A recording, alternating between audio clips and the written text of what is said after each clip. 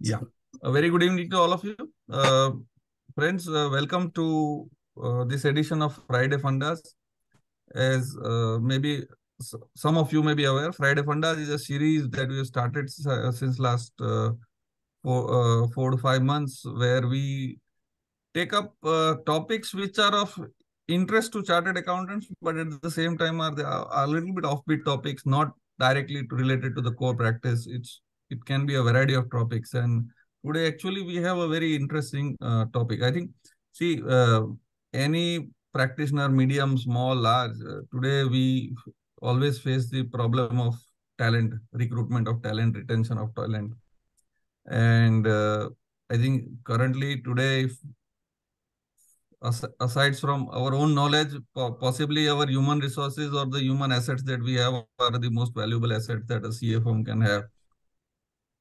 And as it is, we always say that we are training centers for a lot of uh, upcoming, uh, you know, CFOs and so everybody passes through our firms. But yes, uh, today the way our practice is structured, the expectations that they're there, uh, it becomes very important to attract and recruit and retain the right kind of uh, talent in our firm if we have to grow properly.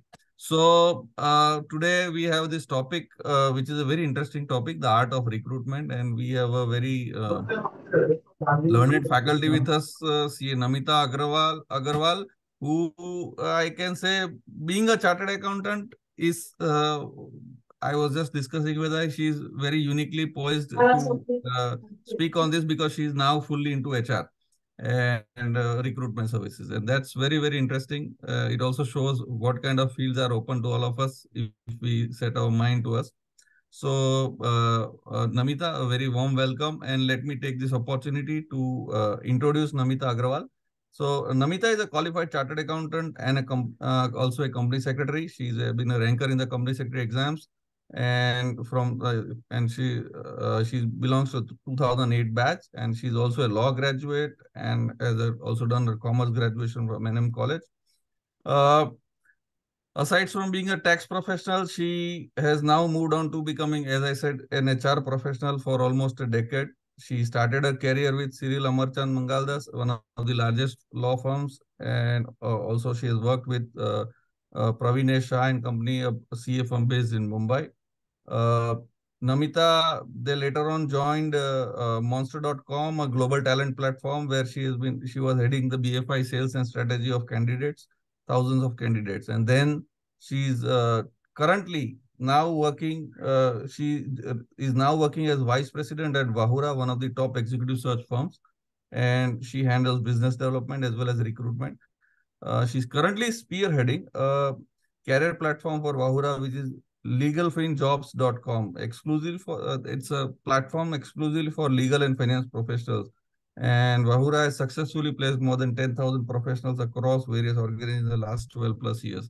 So I think she's very richly uh, poised to uh, give us some very interesting uh, information and uh, tips on the art of recruitment. So Namita, a very warm welcome. Thank you for accepting our invitation. And before we start off, I would like to bring every, uh, request everybody to come to attention for the ICAI motto.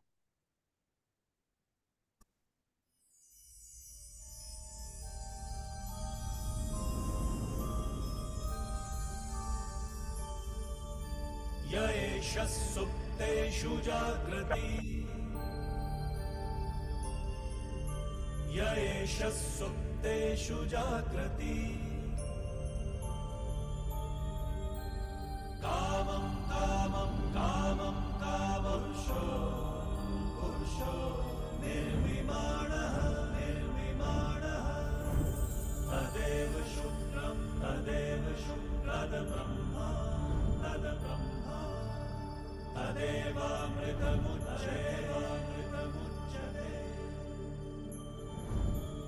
तस्मिन् लोकः तस्मिन् लोकः शतः सर्वे तदूनात्यपि कश्चनान्यपि कश्चन एतद्वैता एतद्वैता एतद्वैता एतद्वैता एतद्वैता एतद्वैता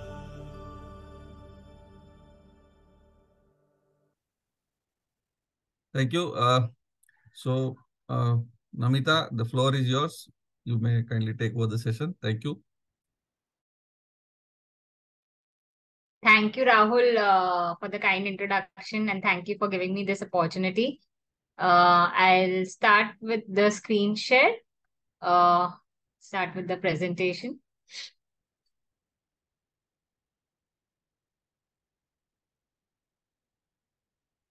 So good evening, everyone. Uh, I hope my screen is visible. Yes, it is visible. Okay, great.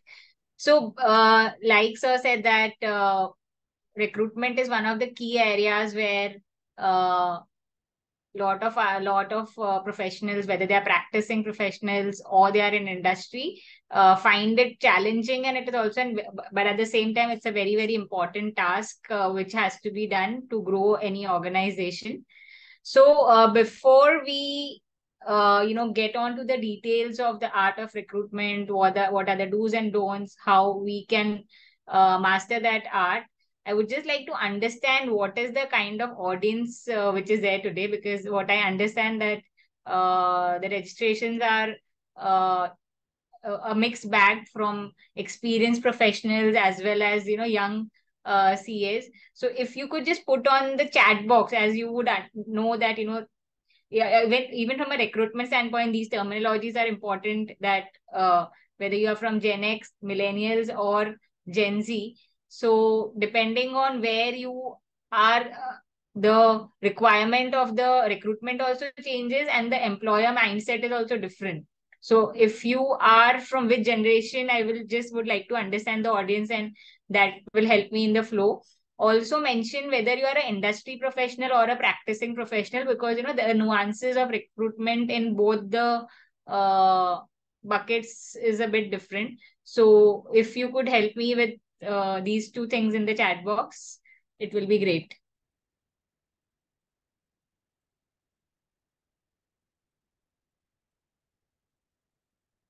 Also while everyone is uh, you know putting their uh, details uh, you would note that this, uh, as the name suggests, art of recruitment, uh, the focus of the presentation will be from an employer standpoint. While I understand that some of you may not be employers right now, given the, you know, uh, registration details I saw, a lot of them are very young with two, three years of experience. So unless you are in practice already, hats off, and you are uh, already an employer. But in case you are, uh, you have registered uh, for the event and you are uh, on a job seeker side also this will help you to understand the psyche of the employer you will understand uh, from this presentation how the recruitment happens what are the things the employer looks into and that will help you in making your candidature strong right so now as i can see there's rajesh varsha there are gen x also great so there are people, uh, senior professionals here. Most of you all will be in millennials. Gen Z will be hardly few because if you are a CA, uh, you'll be between say even a fresher CA will be in the age of 21 to 25. So very few of you all might be in Gen Z. Most of like I can see Sangeeta, Hinal, mean millennials in practice. There are people in industry also. So but there is a mixed bag. There is a Gen Z uh, professional also in practice. So good to know that that very young chartered accountants who have uh, ventured into practice. Great. So got a some got some sense of what the audience is like. Now moving on. Just this slide. Is my slide changing? Yeah, it did. Yeah.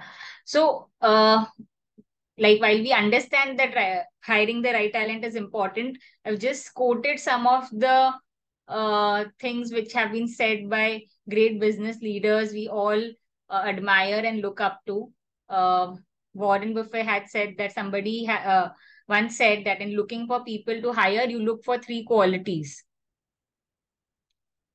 second look for three qualities integrity intelligence and energy and if you don't have the first, the other two will kill you. So, you know, these are some of the qualities which you may also look at if when you are hiring. And uh, another very good quote by Indra Nooyi is uh, success of any company is in direct proportion to its ability to attract, retain, and unleash the potential of its people. The most uh, Tim Cook has said the most important thing is recruiting. If you get the team right, the rest of the organization will take care of itself. So uh, this these are some of the quotes which emphasize the same thing which we we are aware that recruitment is important. It is very difficult. Uh, and it is something which is a challenge not just for small organizations but across the organizations because every organization has its own challenges even if it's a big organization it has a very big brand name still because the volume of the uh, recruitment is high there's competition in the market it is not easy for them also to uh, hire the right talent and to retain after that. Now our presentation will be divided into uh, few i have divided the steps of uh, recruitment into certain steps. Step 0 is planning step 1 is attracting the right talent both active and passive Step two will be screening the candidates. Step three will be salary negotiations and offer rollout. And step four would be joining. So these are some of the uh, key steps in which I have divided the hiring process. And I'll take you through each of the steps to see where are the areas of improvement if you are hiring for your organization. Step zero, what I call is planning. So here it is important just uh, being you know started accountants being finance professionals uh, audit professionals we understand financial ratios very well. But it's also important for us to understand our hiring ratios. This will be applicable only if you are already like a organization which has been there for a few years. You need to have these uh, ratios worked out for your company. A lot of especially practicing professionals because a lot of them are uh, part of this uh, session uh, they do not know this. They have never evaluated. They have never kept, a track of this. So it's important for you uh, as a, a, business leader or uh, your hr team can help you with these statistics that what is your hiring ratio. Uh, it is like a pyramid right? You start with the pool of applications. Say a number is 50 uh, you may end up shortlisting just 20 because from 50 to 20 you will reject the resumes uh, at the resume level. So from 50 to 20, it's without any interaction. It is at, on the basis of resume. Uh, you uh, uh, reject the candidates and that would be on the basis of the qualification, number of years of experience, relevancy of the experience, their location, uh, right? So these, uh, the, the nature of experience which they carry. So basis that uh, this 50 may uh, come down to 20. This is based on my experience of recruitment in many years. This is the place where maximum filter happens.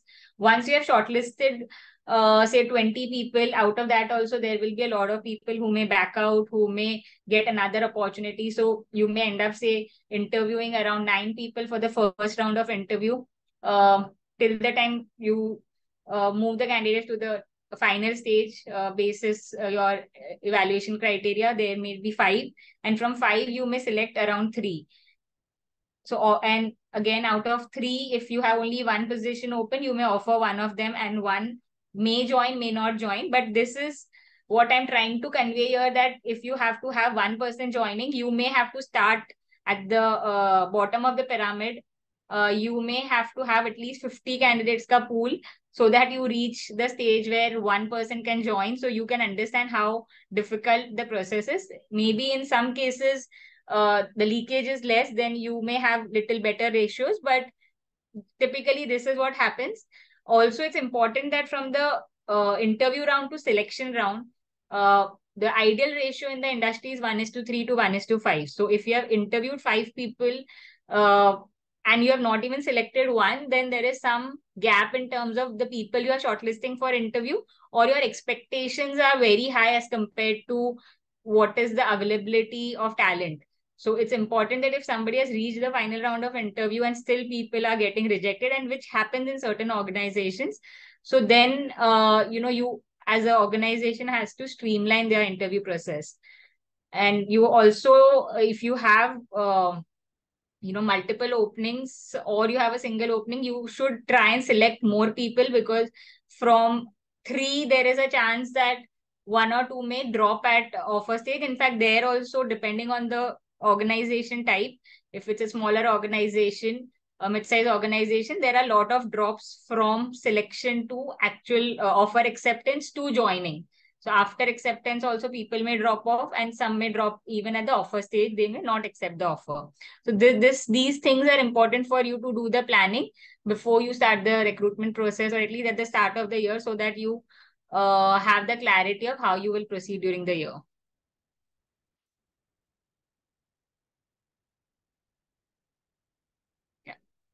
Now we'll move on to how do we, after we have analyzed what are our statistics, how do we uh, start the hiring process? First step is attracting the talent. For that, you need to understand the profile of the organization in detail. This is also, uh, uh, and the EVP, what is the value employee value proposition from the business owner. So if you are the business owners, it will be you yourself. If you are part of the HR uh, or you know you are taking care more from the HR standpoint, then it's important to get all the details of the organization and what is the USP, what we call or EVP in this case for the employees. Every organization thinks that they have a lot of things uh, which are good for the employee, but it's important to put it down in a document uh, so that the employees come to know. This is again a place where I feel a lot of practicing uh, chartered accountants uh, do not portray what they are doing good in uh, in a manner that it is attracting the talent. So it's very important that this is uh, uh, penned in a document and made available to the uh, people who would like to join your organization. So you need to build those employer branding strategies for positive brand from short to midterm to long term period. So it's important that you invest your time, you invest your money, people for what are the ways in which you can do your employer branding. Today is a uh, era of digital age. So whether it's on social media, whether it's your own uh, uh, website, whether it's uh, your physical presence you know how do you uh, use the different uh, way different ways in which you can do a employer branding so as to attract the talent it's very very important. Also next is uh, you need to define your job roles and requirements clearly along with the budget compensation budget and have a proper job description this is again a place where a lot of organization uh, take it very casually. They do not prepare JDs. They would just say that, you know, it's a requirement for audit, it is a requirement for tax, or it's a finance uh, requirement, especially in smaller organizations. So it's important that you invest some time.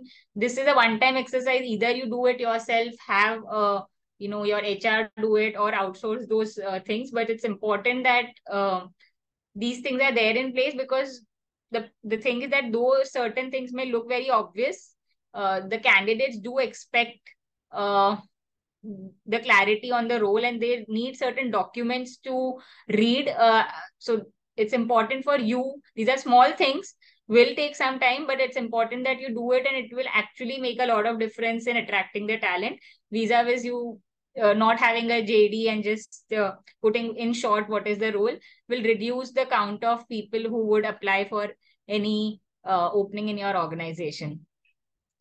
In terms of sourcing, again, there are multiple ways in which you can source the candidate depending on the nature of the candidate you're looking at, whether you're looking at chartered accountants, semi-qualifieds, BCom grads, MBAs, what is the kind of hiring, what's the volume, how fast do you want, what is your internal team strength, like do you have a dedicated HR team, you don't have, and how big is that team, and how much is your budget, you can decide how do you want to divide your budget for recruitment. This is uh, over and above of course your salary which you pay. That's your employee cost. So you have options like your company website social media hr consultants and search firms like ours you have external job boards employee and other referrals so uh, like it was mentioned in the introduction uh, Vahura also has a talent platform called as Legafin Jobs that's dedicated uh, for hiring legal and finance professionals. So there is Legafin Job. There are multiple other uh, platforms which help you in doing. LinkedIn is one of them.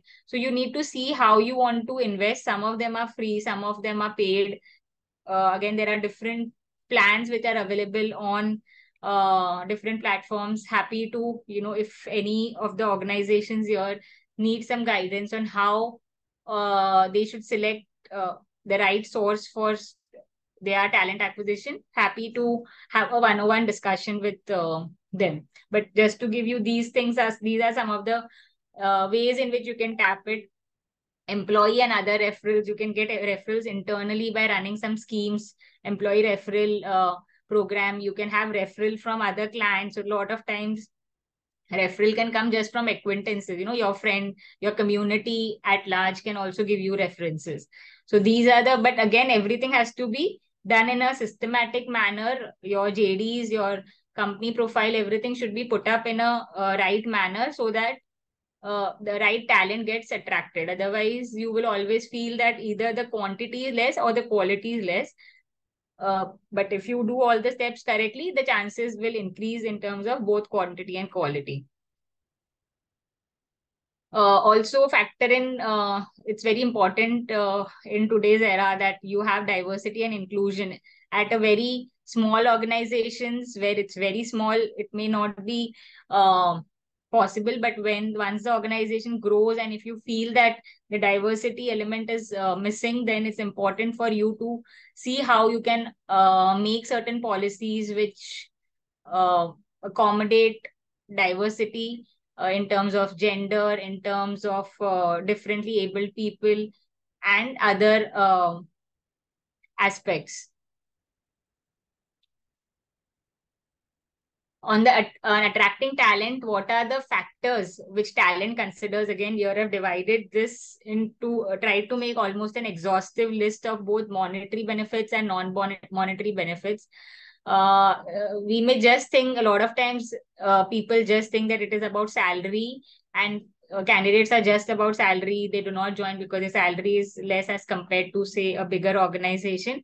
But that's not completely true. There are a lot of factors which uh, play a role in candidate uh, accepting uh, to join any organization. So in monetary you have the total pay, fixed pay. So total pay is the overall, what's the CTC, what's the fixed component, what's the variable component, what's the retention pay. So by retention pay, uh, I mean uh, the, the uh, fixed amount which is paid at the end of the year to retain them. You may call it as a retention bonus or you may call it as a fixed bonus.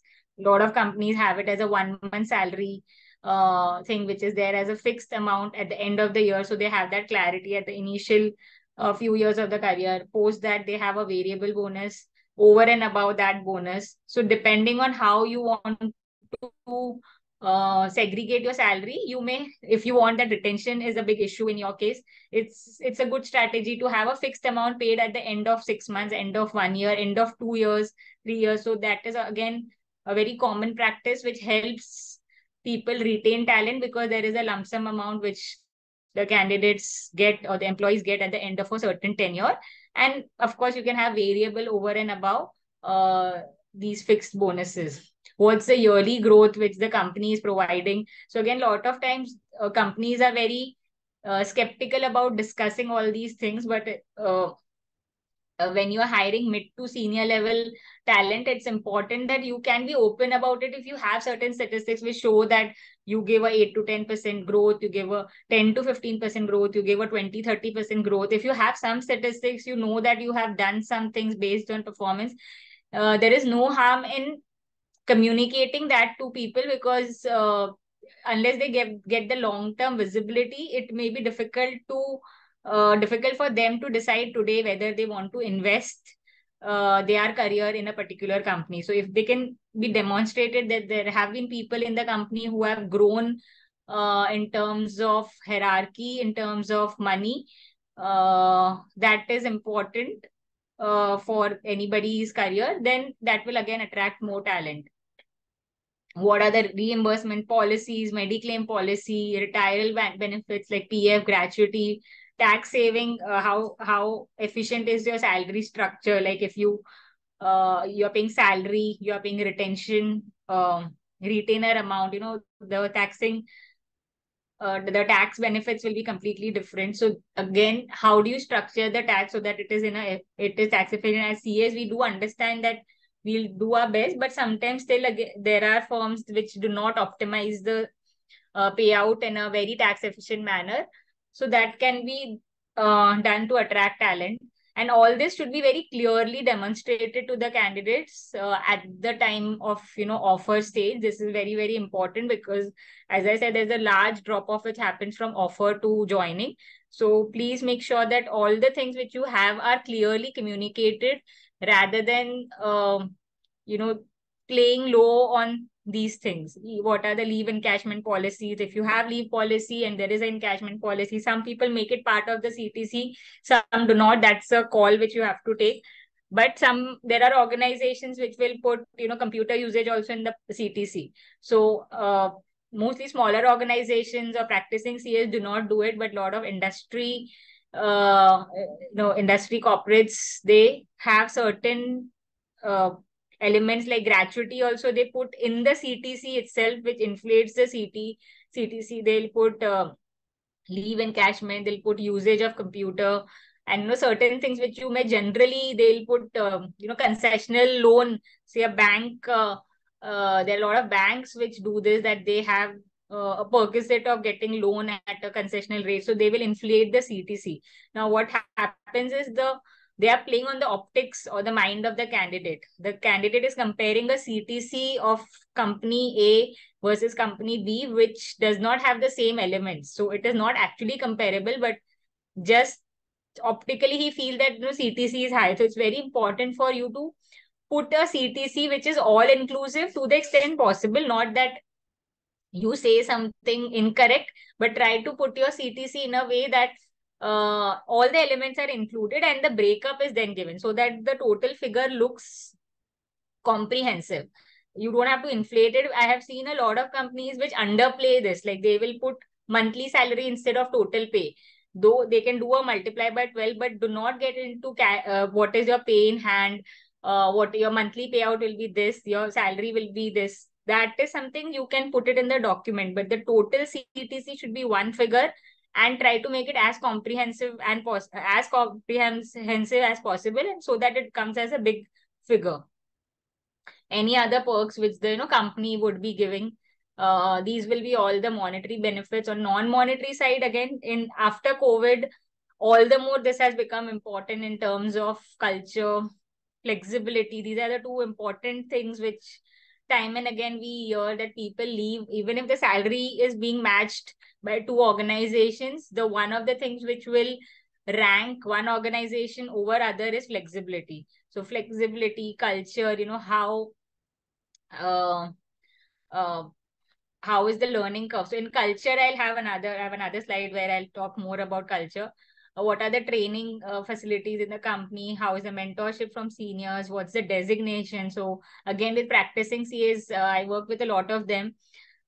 A lot of them are flat organizations. They don't have designations but that is something which works at a junior level. But the moment people grow in the organization after three or two three years four years five years it is important for you to have some hierarchy feel again it's a subjective thing you may have a flat organization based on merit but unless you have a designation it becomes difficult for those uh, employees to portray themselves in the market right today in the world of social media uh, on LinkedIn, if they do not have a proper designation, uh, they cannot portray themselves in the correct manner. So whether it's a manager, uh, whether he's a director, it's very important that you give certain designations as the uh, employees move up the ladder. What are your leave policies? What are your working days? So again, six days working, five day working, two Saturdays working, not, not working.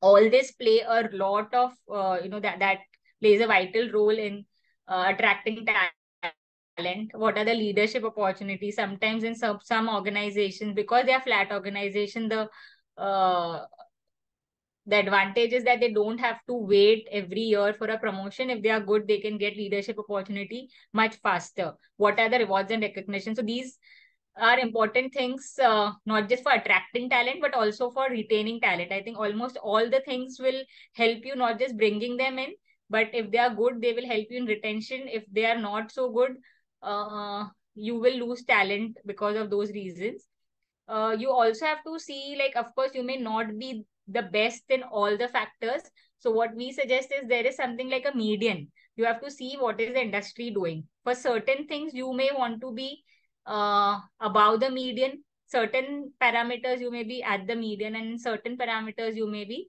below the median.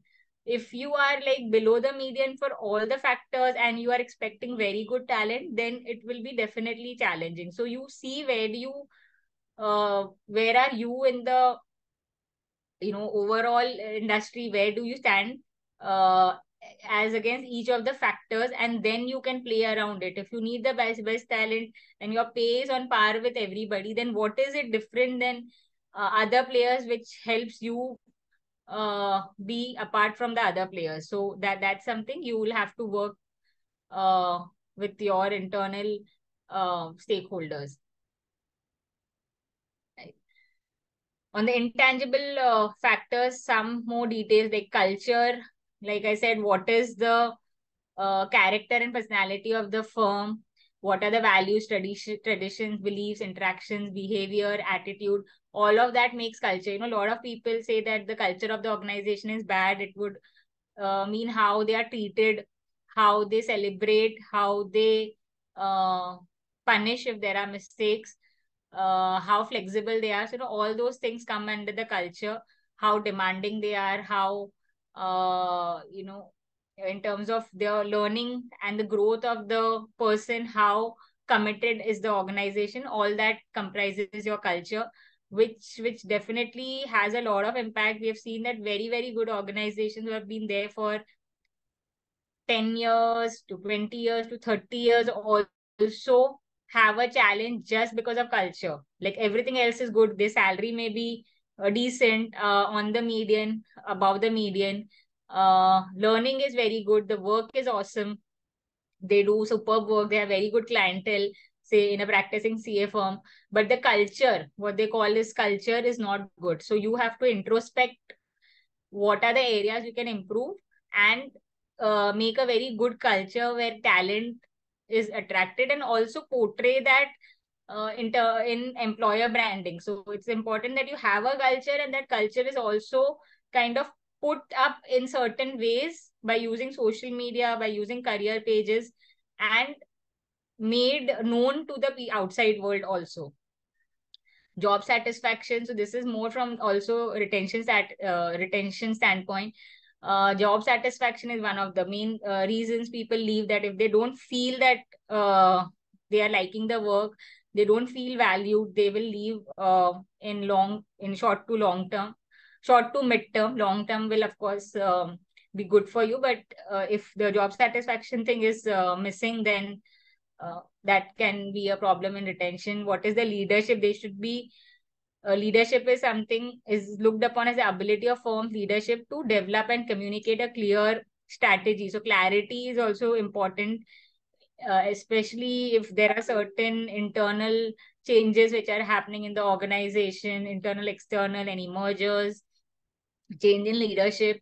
It's important that uh, there is a communication. Again, a lot of places communication is lacking, due to which a lot of candidates feel that the job is not stable. There is uncertainty around it. People don't talk about it, and then they lose the then they uh, lose the uh, talent. Rewards and recognition. Again, this is something where uh, not a lot of CA firms are doing much in this space. It's important that certain uh, you know events are organized to recognize uh, talent based on certain objective parameters.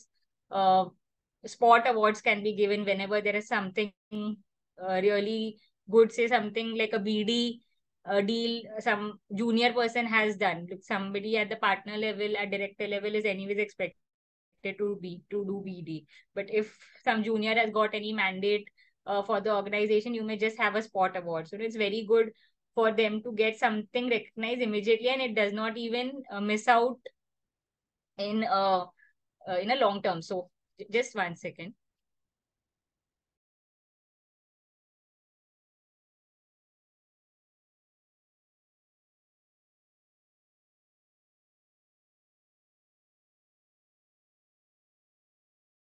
लो थोड़ी दीदी चली गई sorry yeah uh Another point is prestige. It uh, refers to the level of fulfillment and social pride of a professional on, on account of being associated with a firm. So whenever they get associated with a brand, you know, the prestige value becomes higher. When it is not a known brand, the prestige is less. So uh, you have to work around other things and also in building your brand. The moment your brand is higher, the prestige thing will go up and also the kind of work which you do right? It will be one of these two three things will determine how uh, this prestige uh, matrix works for the talent. Work life balance again this is one of the uh, problems which uh, talent is facing and the organization is facing you know how do you balance it?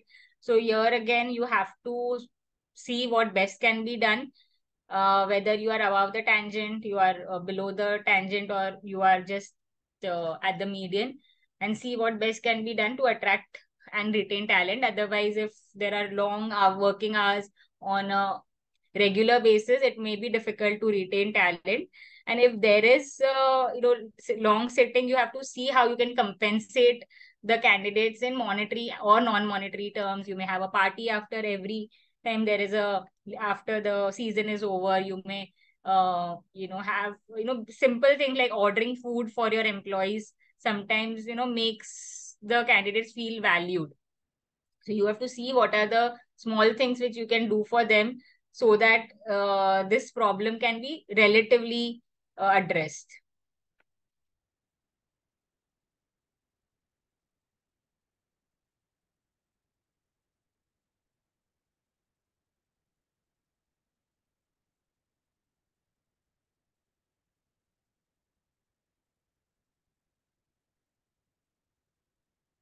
Next, uh, after attracting the talent, uh, what are the ways in which you'll be screening the candidates? Key skills which you'll be looking at. You may be knowing it, but just for the recap, technical and grasping skills, communication skills, confidence of the person, longevity, how much of that long-term thing you can see in that candidate, uh, attitude, computer skills, salary expectations, right? So these are the things which you will be checking uh, and accordingly deciding whether the person now that you have attracted the talent now it's the ball is in your court he is here for an interview and you have to evaluate him or her on uh, these factors it is important for you to give a weightage to everything and not just one thing because a lot of times people give emphasis to say only technical skills sometimes they give a lot of emphasis to communication, sometimes uh, to salary expectations. On the salary expectations, also given uh, the current scenario, it is very much likely that people may quote a high salary, but you should not uh, right away reject them basis the salary expectation. You see, firstly, it's important that at the start only the budgets are kind of defined, but at the same time, the salary expectations, uh, instead of rejecting somebody right away because of expectations, you evaluate him on all the other parameters and if he's fitting in see what best you can provide and then see his or her reaction. A lot of times it happens that they quote something but they may be ready to work at 30% less 40% less 20% less. It's just that they want to have their negotiation power so they they quote a higher salary. So do not reject them right away because of that but see how much of negotiation scope is there. Attitude definitely is very important, which I'll also cover in the next slide. Communication skills, see how much of that is trainable. It's very, very important when I do candidate related workshops, I do tell them that, you know, this is one of the skills, there is a gap. Uh, and you need to really, really work on it. But at the same time, you have to see at the time of hiring that uh, where do you stand in the overall, you know, different factors. If you are really uh, best of the best firms, then definitely you can expect the communication skills to be one of the main criteria, one of the key criteria. But in cases where uh, you do not have that uh, liberty of having everything on above the median, then you may have to compromise a bit on communication skills and see how best you can train them on the job. On technical skills also, it's important that interview is, you know, a very small and a very subjective way to test a person. You may just ask four, five questions and you may feel that the person doesn't know anything or doesn't know enough. but we need to understand that all of them are chartered accountants. So I'm saying, say, in a chartered accountancy uh, hiring uh, scenario, all of them have uh, done their uh, education, they have studied everything. So try to see how objective you can make the evaluation process. You may have a little more longer test or something rather than asking just few questions and evaluating on basis that because that can be uh, like even a CA who has become a CA has become CA by scoring a 40 or a 50 percent.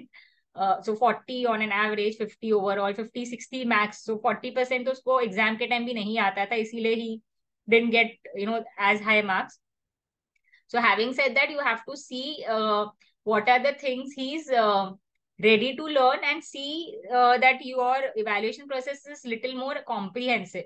Do not judge people just on the basis of very few questions. Try to give a little more comprehensive questionnaire. See if you can take help of external uh, service providers who can help you with the questionnaire. And uh, make the process more objective rather than subjective. And of course attitude. I also personally feel that's very very important so your attitude is like Jack Ma has also said, your attitude is more important than your capability. So if the attitude is right, all the other things can be uh, uh, taken care because that person will work towards improving the other things which are lacking. So which will uh, involve the whether they are motivated, how enthusiastic they are, their willingness to learn, willingness to work without supervision, especially when it is a hybrid model how much of initiative they take, how much of willingness is there to work hard, uh, whether there's clarity of mind or not. And willingness to work hard can be very, very subjective, where, you know, a 70, uh, when, you know, the statement uh, came for, uh, of Narayan Murthy on 70 hour uh, work week, you know, there was a lot of uh, backlash. So again, that is a very subjective thing 70 hours maybe more. So what is the sweet spot? You know 50 hours 60 hours 40 hours. So there can always be subjectivity. You have to see what is uh, the requirement in your organization and how much do you think the candidate is willing to put it. I personally don't feel it is dif- you know it is something which can be defined in terms of a particular number but in general uh, of course everybody would want that you know hard work is something non-negotiable. So that is something you'll have to check at the time of interview as to how much they can uh, stretch as against what is the normal uh, work expectation. Some of the sample hr questions uh, which are there in case you want these questions i can you know send uh, certain slides here. I'm not reading all of it. So these are some of the standard uh, or sample HR questions which will help you understand more about the candidates which are not on the technical side.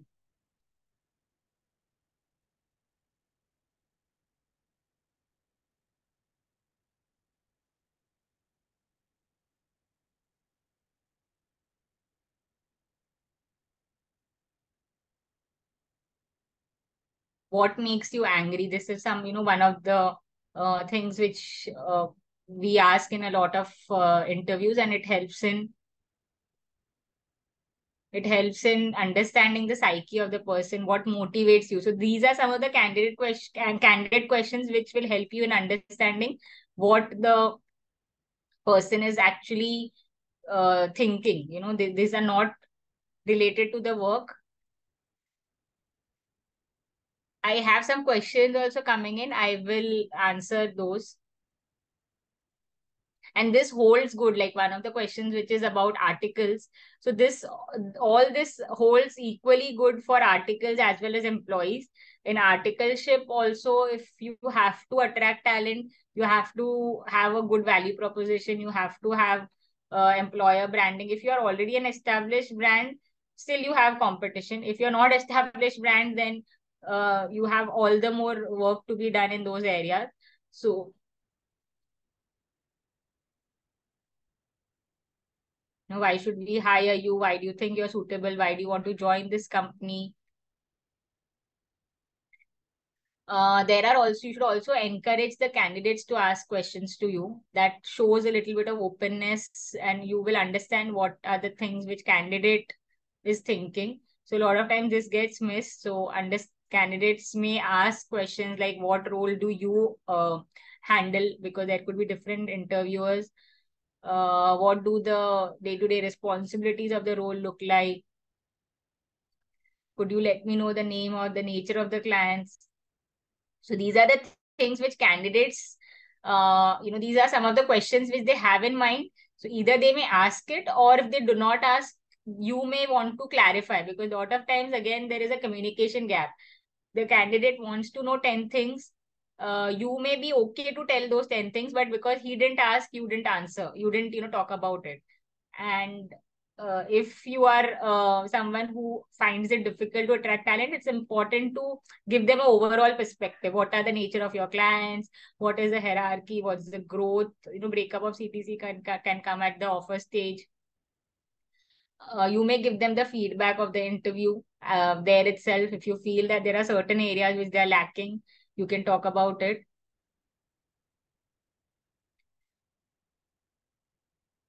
So again, as a uh, interview is again one more play uh, way, way in which you can showcase your brand.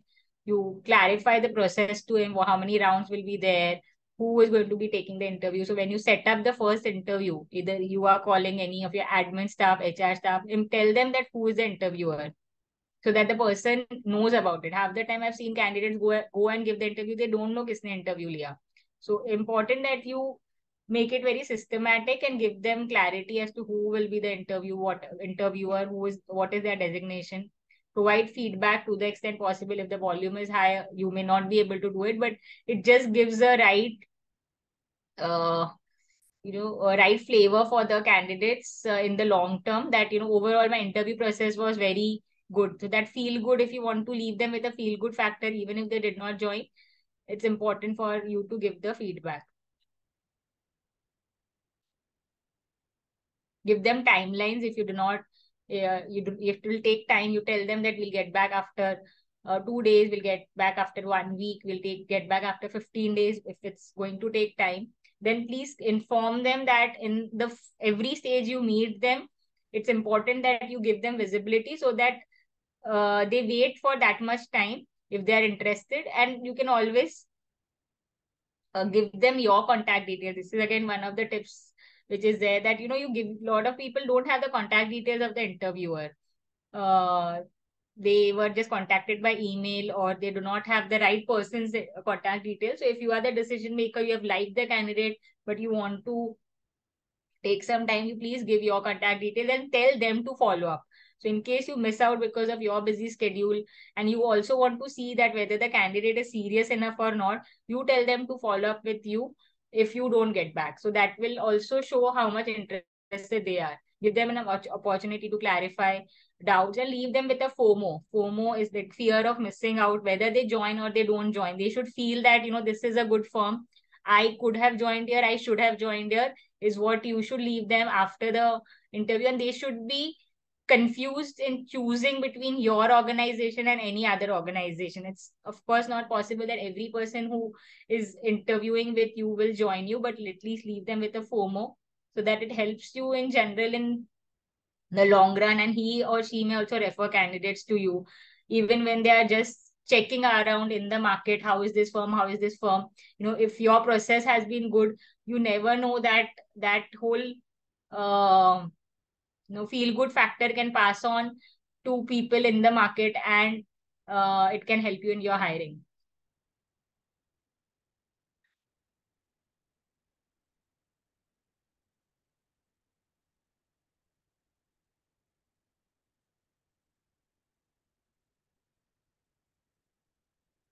next step is uh, salary negotiations and offer. I'll come to the questions uh, at the end. I, I i have read them because some of them will get covered in the later slides.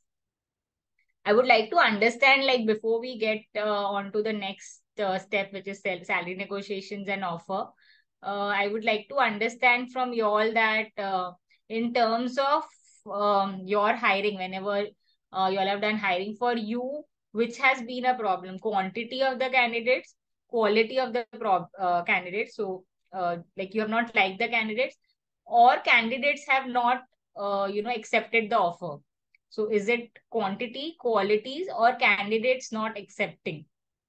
Uh, if you can just put on the chat, uh, it will help me in understanding where are the leakages which happen in your hiring process.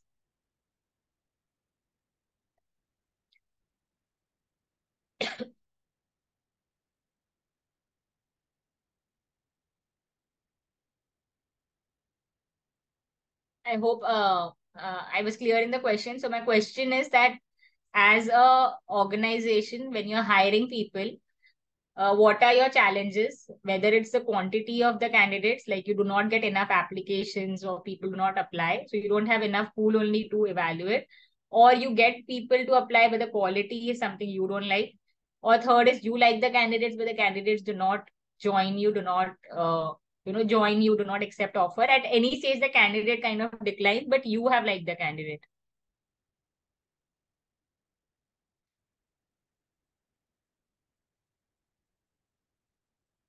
all three. Okay, Amal says all three. Quality and candidates not accepting. Okay.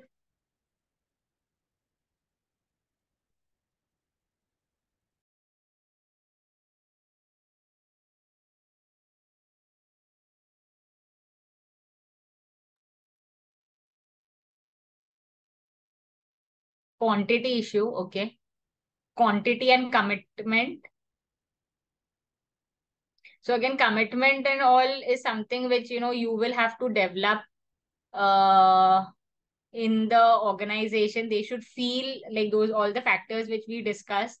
They should feel that the culture is good. They should feel that the salary is good.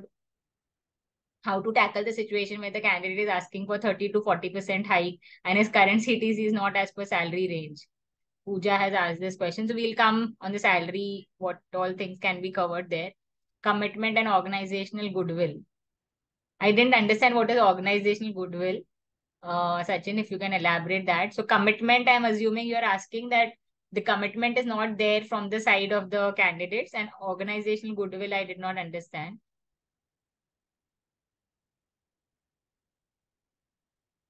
Yeah.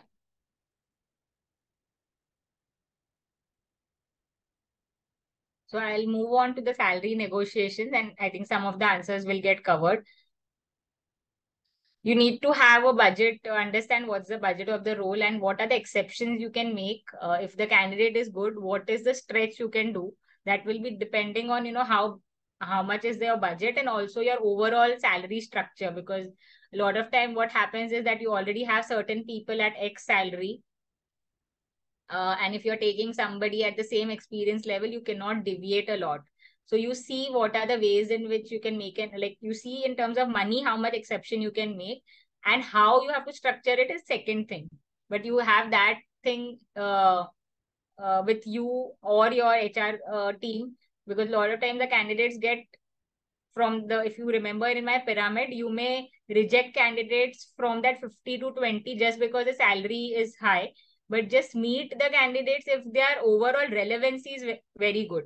So it's very important for you to see how much you can stretch if the match is there. If the match is not there, of course, we understand you will not be able to uh, give a high salary because your expectations from the role are not getting fulfilled by the candidate. But if the uh, match is there, see how much exception you can do. What is the, uh, you should always have that scope for negotiation which is there. You can expand the role based on the strengths of the candidate. So if you feel the candidate is very outgoing you may involve him he or she in business development in branding right? So you uh, can do certain things which the candidate can help you uh, uh, not just in execution but in some other areas you know something on the hr side. Of course hr is also part as a business owner or as a, a senior member hr is also one of the functions. Or if uh, for same matter article hiring. So if somebody is, you know, asking for a higher salary, you may want to just expand their role based on their strengths and their interests, which will help you in kind of uh, uh, make uh, doing justice to the amount you are paying. You should have minimal time between final interview and the offer discussion. Even the interview process has to be as fast as possible because if, uh, like I can see a lot of the in the chat that a lot of you are uh, a lot of you are from smaller organizations or mid-size uh, organizations. So in those cases, you don't have that liberty to spend a lot of time in the interview process, in the offer uh, rollout, because if those things happen very fast, that also shows that the organization is efficient uh, and the interest level of the candidate is maintained. The moment you have like two, three weeks in offer rollout, um, or you know even one week after the final interview, it's quite high. So everything, the TAT for every after one step to other step should not be more than two, three days. And at least keep them informed that this is the timeline. If you do that, again, that ha has a very good positive impact on the candidates. And wherever you feel you don't have the bandwidth, of course, you will have to take help of uh, external vendor search firms.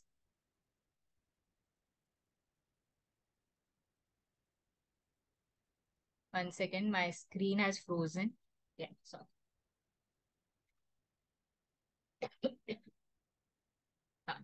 you have to structure the salary to attract and retain talent depending on the level like we have discussed in the earlier slide also how you structure it in the way uh, in terms of deferring the pay uh, in terms of making it tax efficient in terms of fixed and variable uh thing. And again one one of the things i mentioned is one size doesn't fit all.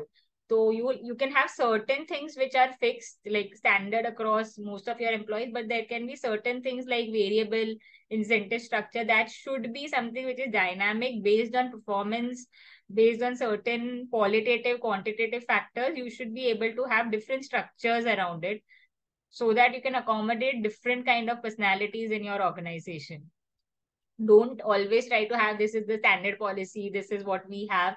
No try to have some deviations. If you want good talent uh, to come if you want different talent which is not existing in your organization right now you'll have to make certain deviations around it. Competition benchmarking see what your peers your other firms are paying firms above you or organizations bigger than you. You'll have to keep doing that. If you don't have the bandwidth again these are some things you'll have to take help from external vendors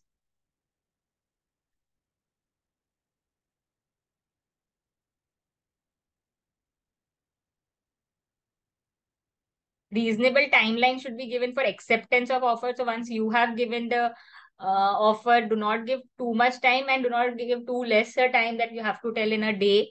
At least give around uh, three uh, three to five days is the ideal time because uh, if the candidate has to leave, he may like not accept, he may not accept, he may not join after accepting. But it's better that they think about the offer clarify their doubts and accept it. If you put a lot of pressure in terms of the accepting within the same day, next day, that can again discourage them to accept the offer. So give them a reasonable time, neither too high, neither too uh, less.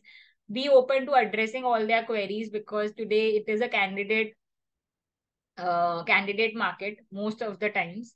Uh, so you should be open in discussing whatever is their query uh, and give them that comfort. If you have liked the candidate, it is important for you to uh, bring them on board. Then the ball is in your court uh, to uh, make a case for them to join your organization. Offer to acceptance ratio is something which you need to, you know, see how much, how many people are accepting the offer, uh, how many people are uh, accepting the offer after uh, giving the offer. So accordingly, have a buffer that in case this person does not accept the offer, you should have another candidate in the pipeline. Next is your onboarding.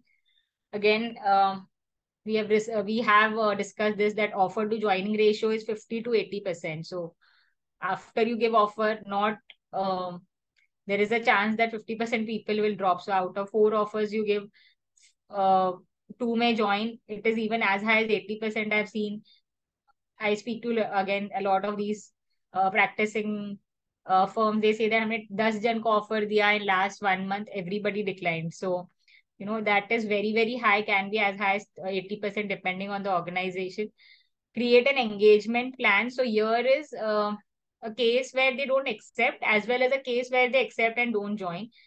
Where they accept and don't join is also uh, there this engagement plan is very important. So during that notice period with the employee serving one month, two months, it's important to be in touch with them, see how you can engage with them. You can send them some mails, send them some messages, keep them updated about what's happening.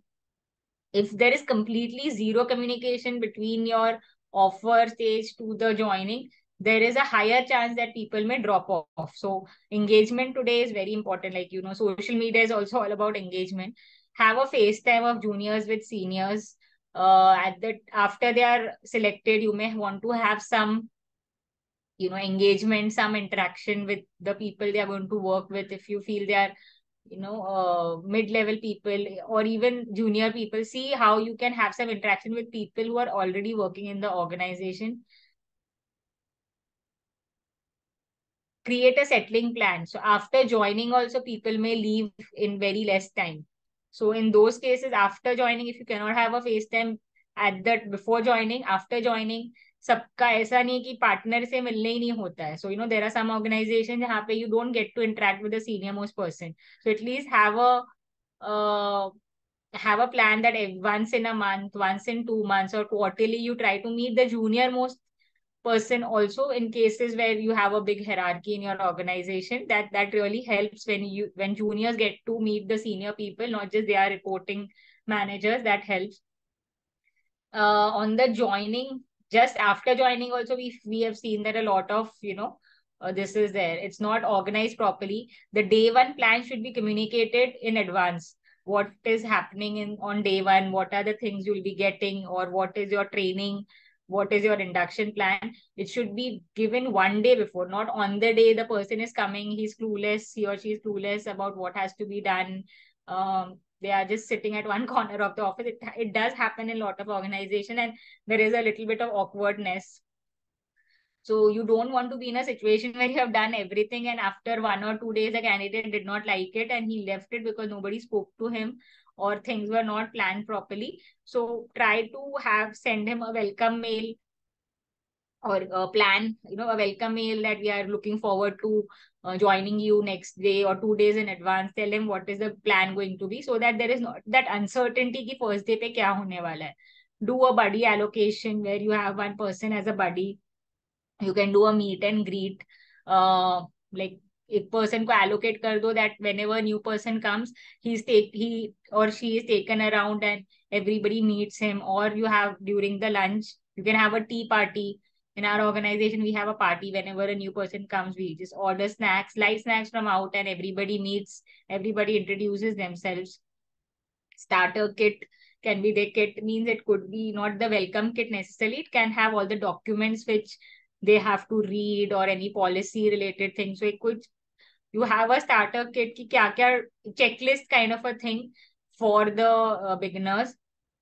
You should make the person uh, belonged in the organization as from the day they join they should feel that they are uh, welcomed they are belonging to the organization. You may actually send a welcome mail across the organization like this person has joined and then everybody congratulates and welcomes that person if you have an intranet it can be put on intranet along with the introduction of the person that this person has joined and everybody knows if it's very small organization maybe it's not needed because everybody meets but if it is an organization which has uh, multiple offices or not everybody is in office, then it's good to have such things.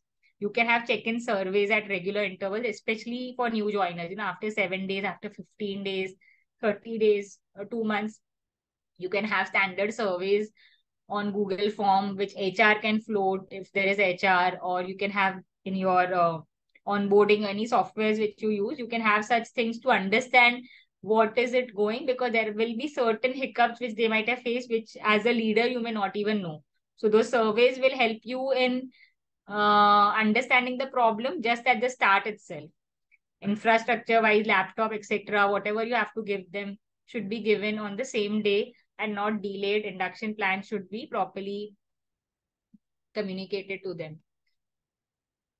In terms of uh, retention one most of the things we have discussed will go in uh, will go in very well for your retention strategy also. On the training side uh, uh, apart for having retention training is also one of the key aspects. You should train them on technical skills on processes. Uh, you can have uh, have them attend external webinars you can have internal training session where seniors of the organization are uh, taking the like session study circle sessions, your residential courses, certificate courses, library, journals, knowledge database, recording of sessions circulated. So ये सारे repository है and you can keep encouraging people have some point system where people train themselves on technical skills and they get certain points. You can have a person in your organization who can be in charge to circulate what all things are happening in the training space by different organizations, say uh, a CA Institute, BCA, CITC, and circulate to the other members. So that is also one role expansion which we talked about. You know, give them additional responsibilities and see how they are performing and just not make it monotonous about work soft skill give them opportunity for internal presentation encourage them to go for external presentations if they are interested do mock client calls so that they can help. They also get to learn how to interact with uh, clients email drafting sessions accounting whatever softwares you have audit tax softwares. You can have soft skill trainings on that. You can have sessions on leadership some of the reasons why people uh, you know leave when we have done certain surveys between legal and finance professional over the years. And uh, the reasons we have got for attrition there are some of these standard and top reasons i would quote. Work for more than 10 hours a day. Partners tend to play favorites. If they feel that there is favoritism though no organization would like to do it but that should not be something which which is a feeling which employees uh, get work life balance, uh, promotions are not being given to deserving. Firm is not emotionally, mentally healthy place, no sane decision making. Work is monotonous, there's unending stress. So, of course, as uh, practicing CAs, we know we have a lot of timelines, deadlines, but at the same time, we'll have to see how do we balance it by doing certain other things having more manpower so that the stress on the existing staff is not too high. Right. So this is uh, my concluding remark on overall uh, the art of recruitment is, uh, you know, you put yourself in the shoes of the employee and see what best you can do for him or her. Um, and then you will definitely be able to do a lot of things in a better way. I tell this also to the employees that you put yourself in the shoes of the employer. And to the employer, I would say that see how best you can make careers of people, you can train the people, and it should always be a win win situation for both you and the person. Uh, while we always, you know, employers always say that they teach the candidates, they leave after some time, but you need to evaluate why do they leave, what is in store for them outside uh, you have also been an employee at some point in time. So there will be certain things which are uncontrollable, but to the extent you can control certain things, you can uh, make your processes right. You can get the right people in. You can nourish them, uh, have the right culture, right engagement, and see what best you can do in your organization and your within your control to get the right talent inside the organization and the right talent uh, stick around in your organization. Thank you so much. I will now take up the questions which are there. I think a lot of questions are about uh, budget, uh, like getting the. So one of the questions I'd asked that what are your challenges, whether it's quantity, quality, or uh, candidates not uh, accepting. So I see a lot of people have said that candidates do not accept uh, the offer for which you need to work on certain uh, small small things like employer branding putting across your value proposition how you pitch to a client is how you have to pitch to the candidate. And uh, you know take help uh, from external people if you don't have have a either an internal hr if you cannot afford or you don't think there is a need. Take uh, you know help from others and try to structure these things because this will help you in long term. So if anybody, I'll put my uh, details also in the comments. If anybody wants to reach out to me independ- uh, individually, happy to help you. Uh, somebody has asked small C- uh, CA firms are not getting articles, paid employees, and we are used as training ground, which I also say uh, said with employees leaving us after a year. So the articles of course there is a bit of shortage and you need to understand that they are also spoiled for choice. If they have multiple choices they will get inclined to uh, join a bigger firm. So that challenge will be there. You have to make a value proposition for your firm. Uh, what are the flexibilities you can give to the uh, to the people?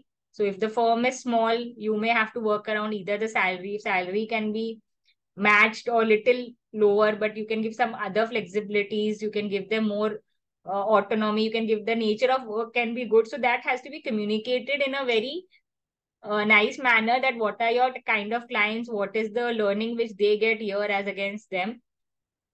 And people will leave like that's the part of the uh, thing but you have to see how you can incentivize. You may have some long term incentives that after 3 years you get certain amount. After 2 years you get certain amount. So you uh, incentivize them both from monetary and non-monetary aspects, then possibly uh, you will be able to uh, reduce the challenge. I cannot say that challenge will completely go, but you will be able to reduce the uh, problem. So I've answered uh, anonymous Dhruv, uh, Kuldeep, I answered. Uh, Dhruvin has asked what are the best job portals or other platforms to post job openings and hire candidates. There are multiple uh, platforms which are there. It depends on what is the kind of uh, uh, people you are looking to hire. Uh, if you are looking to hire, um, you know, mid to senior level people, it will be different. If you're looking at freshers, whether, whether it's for chartered accountants, semi-CAs. So LinkedIn is of course there. We at Vahura, we are ourselves a search firm. So if you want end-to-end recruitments, we are uh, helping organization for mid to senior level hiring under Vahura. And we also have a job portal called as uh, Legafin Jobs, which was earlier called as Career Santa, which I was running for six years. And that's dedicated for legal and finance uh, jobs. Apart from that, there are uh, portals like Naukri, Shine, Times. So, of course, a bit of conflict of interest for me. But yeah, there are multiple job portals, but a lot of those job portals are very generic. In fact, all of them are generic, and uh, you get uh, bombarded with a lot of applications. So you should have the time to uh, shortlist the right ones and conduct the interview. So if you can ha have some niche portals that will reduce your bandwidth to hire these people. That will uh, basically save on your bandwidth, I meant, to hire uh, people. So even on the Legafin Jobs platform, we also have a special. So one of the things which we are offering here is uh, we, uh, apart from the job postings, we also give offline support in terms of shortlisting the resumes and scheduling the interviews. And we also have a career page where you can do your branding from a candidate, from an employer standpoint. So of course, the Institute does not allow branding if you are practicing CA from client acquisition standpoint. But as an employer, how is your culture? Uh, photos and videos about your uh, employees, testimonials of your employees, all those are something we understand that that's a problem which small to medium firms uh, face. So we are creating special career pages for organizations on Legafin jobs. I have put the name of my portal. I've put my email ID and my phone number also on the chat. What activities can be planned for employees to feel ownership and build open culture? Okay. So uh, there can be a lot of engagement activities uh, when you know you can have once in a month you can have uh, certain games which can be organized. You can have uh, uh, different people who are so if you burden one person to be in charge all the time for this, of course, their bandwidth goes. You can have one person. It depends on how big your organization. This question is by Dhaval. If you have, you know, every month you have organize uh, one person who can organize something in that month. You can divide them into teams uh, have some competitions. You can ask them to give feedback. So you know every quarter you can have some sessions where they can give uh, ideas on how you can build your practice, how you can grow, and the people whose ideas are accepted are rewarded. That is one of the ways you can make them feel ownership. Reward and recognition definitely goes a long way in ownership. Like I had mentioned about sport awards, uh, every quarter you have a town hall uh, bigger organizations have it even if in smaller organization you can have a meeting where the owner the ceo the partners talk about the firm what's happening in the firm you know communication if the communication is open in terms of you sharing what's happening in the firms uh, what's happening in your organization especially where it's smaller organization and not everyone knows everything that will definitely help in uh, help them have a ownership feeling that you know we are being told what's happening in the organization. So every quarter what are the new things which the firm has done? What are the achievements of the firm? You can talk about them uh, and wherever the people contribute to the firm in terms of their growth in terms of certain initiatives they take you can incentivize them monetarily or non-monetarily. You can give them vouchers. You can sponsor uh, you know uh, have a uh, as simple as a lunch. Every every quarter have a budget for a lunch party. So you know that are small things which will help you in uh, help people interact with each other and speak to each other apart from work uh, how should we deal with the high skill but arrogant mindset okay so this is a you know, this is a very case to case uh, thing. So I don't know exact facts of the case. So will be difficult to comment on this. But uh, uh, arrogant uh, in what sense is something I do not know. So will be difficult to comment. Uh, but it's the solution to any problem is you have to speak to the person and understand what are their expectations from the role. If they're skilled, they're very highly skilled but uh, the attitude is wrong right? We discuss about attitudes. When you say arrogant so is it because you are saying the senior is arrogant or the junior is arrogant? I don't know. That's not mentioned. But it's just a conversation which will have to be done with the person to understand uh, what is there in their mind if you cannot speak to them as a direct person so if you are the person who is directly dealing with it and facing it you may have to have a third party intervene and see what is uh, going wrong and why is the person behaving in an arrogant manner. Vaibhav has asked what should be majorly considered while hiring employee in a small size organization and at the same time attract and retain them. I think most of the points I've covered. If you have any specific questions, we can discuss one on one. Uh, Sachin has asked every organization has a reputation in the market. Uh, that said and heard, thing also affect recruitment? I didn't understand this. That said and heard thing. So if you are saying that, uh, you know, in the market, if your organization has certain reputation, but all of it may not be true, uh, that is something that's a challenge which is going to be there all the time. So see if you can, whenever people exit, you try to have a amicable settlement. If even if things are going haywire, see uh, see that you know the reputation of the organization is not uh, put on stake there are a lot of platforms today where people write negative things about an organization so there are ways and means in which you can have that removed but uh, in general you should always end on a happy note to the extent possible. If the candidate is doing something like going absconding or you know doesn't want to have good relation that's different. But if a person has decided to leave it's important that you do the exit in an amicable manner rather than uh, getting into a conflict so that when the person leaves at least he goes with a good taste and he or she can recommend people to your organization and if not recommend at least not say bad things about your organization after leaving. Budget constraints yes that that will be there. Uh, you'll have to see how you can uh, incentivize the candidates. Maybe you know based on variables if you cannot incentivize on fixed salary try to incentivize them on retention basis and on performance basis. Pooja had asked, uh, how do you tackle 30 to 40% hike? Uh, so you will have to check in that situation you know why are they asking for this hike so of course we also agree that as uh, search consultants that 40% is too high. 30% will depend on from where they are going to which organization. You have to ask them that you know what do you why do you think that you deserve that salary?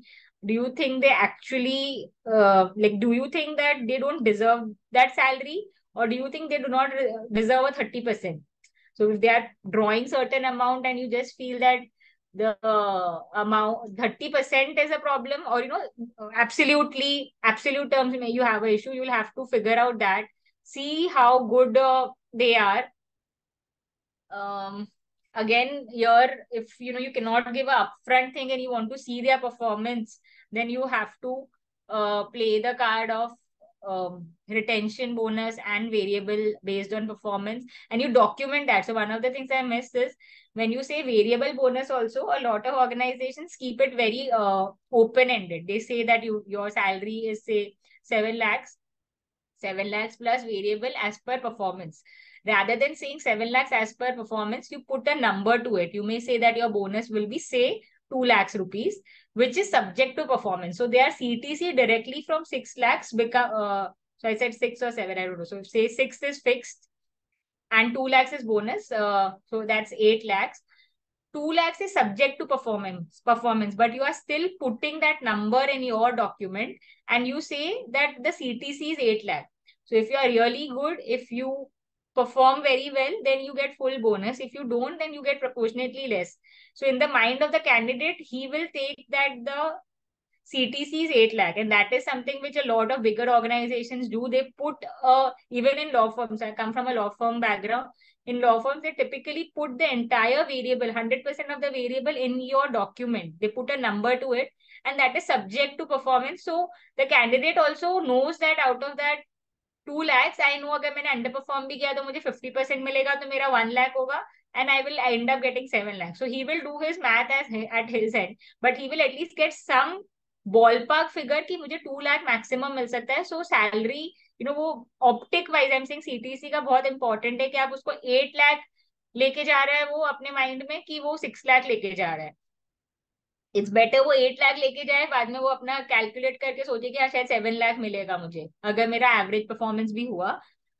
And if you keep it very open ended he will not know at all कि क्या मिलने वाला है what is the maximum I may not get anything you know so then generally they have that they go in the zone कि I may just not get anything I may just get a fifty thousand I may just get one lakh there is no certainty but if you put a number to it you also get the clarity की maximum कितना हो सकता है and based on your past performance you will definitely have some numbers So variable also can be put, a number can be put and fixed bonus can definitely be a fixed number.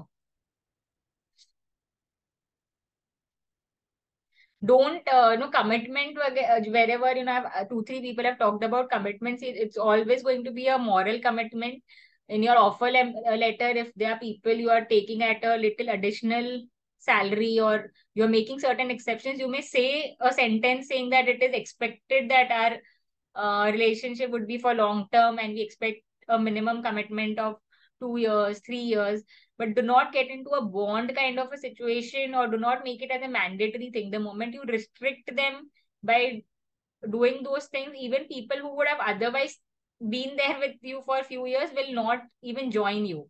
So by just taking something, you cannot force anybody. So end of the day, you cannot force anybody to stay in your organization. If things are good, they will stay. If things are not good, even a bond will not work. So bond and all should not be uh, something you should do.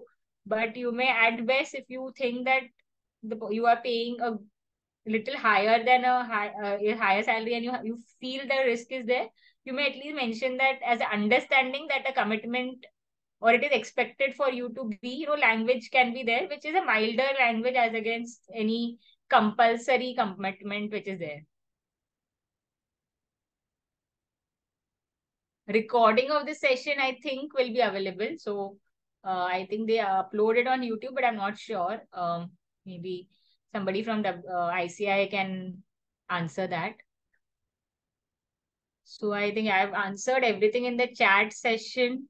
And then Q&A also I can see any other questions. We have answered everything. Yeah. Any other? uh, from the audience. I hope you found the session useful. I have put my uh, details also in the uh, chat box and happy to connect with you separately. I think every question is answered very well. Uh, yeah. So, and I think the video is uh, usually put on the website of WIRC in a week's time or something. Yes. Okay. Okay. Uh, so on behalf of WIRC and all the participants, uh, I would ex uh, extend my warm uh, vote of thanks to Ms. Namita. I think she's uh, like uh, this was a very uh, like engaging session and like this is a very useful session which that is the reason that we are having it the second time at WIRC and this time we had around more than 40 50 participants I think 40 part 45 around participants. And uh, like you have very well answered like how having designations or hierarchy in the firm is important and how uh, to solve this retainer uh, retaining issues in uh, the organizations. Uh, like uh, how to deal with work life balance and giving work satisfaction to have a long term retain retention that would matter like having rewards and recognitions uh, in organizations which CA firms usually don't have.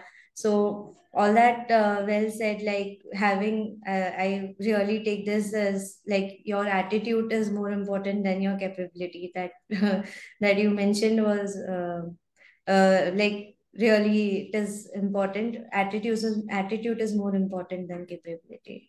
Um, so with that note, I thanks Namita and uh, wish to see you more and having more sessions with you. Yeah.